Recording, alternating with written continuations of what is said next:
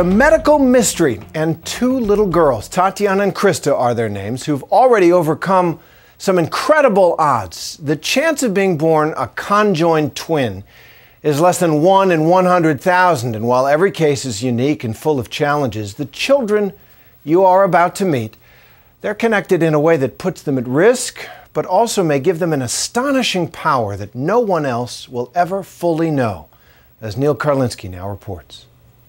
The girls are over here watching TV. Tatiana and Krista Hogan are what's called Hi. craniopagus twins. That one's Tatiana. Hi, Tatiana. Oh my gosh. And the bigger one on this side is Krista. Hi, Krista. They are connected at the head, but it runs more than skin deep. They share a brain. You girls are happy this morning. Oh, they're happy all the time. Are you? They are true medical wonders. These twins, I think to our current knowledge, are the only ones that have that do have a common neurological connection. When we visited their home in British Columbia, Canada, we were amazed to learn that nothing seems to slow them down. What appears to be an insurmountable physical challenge to them is just normal. Okay, I come sit. Tell me about the similarities and the differences. Tatiana is more of the laid back one. She'll do anything her sister tells her to. she doesn't usually fight with anybody um, unless they step on her toes one too many times. and then Krista is the more of the aggressor. She is very, I call her my little bully.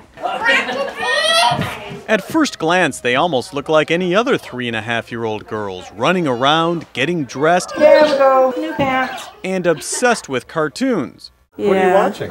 Mickey Mouse. Two of the happiest little girls our crew had ever encountered. Teddy bear? Teddy bear. They laughed and played the entire day we were there, anxious to show us their home. All right. Whoa. Okay, here we go. I'm coming. Oh, the daddy bear. That's the big one. The twins live in what is already a very busy household, filled with siblings and extended family totaling 14 in all. And while they work together amazingly well to get around, they don't always agree which way to go or what to do. And that can cause problems.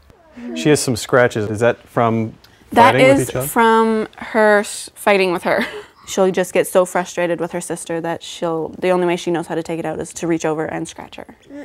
And we try and get her to stop, but usually we're 10 seconds too late. At what point did you realize you were going to have conjoined babies? Um, I didn't even know I was pregnant with twins. It was 2006, and Felicia Simms was 21 weeks pregnant and getting an ultrasound. And the technician looks at me and goes, Did you know you were pregnant with twins? And I was like, No. You're kidding me? She had to send the scans back to my doctor. And within that night, he was calling me, telling me he needed to talk to me. what did he say? He just sat there and he's like, um, There's no actual way to say it, but your girls are conjoined, and they're conjoined at the head. And he's like, I have no idea if these girls are going to survive. My brain just didn't want to compute anything he said. And he's like, Well, you still have time to abort them. And right there, I looked at him. I was like, There's no way that's ever going to happen. There wasn't a moment of doubt. Never.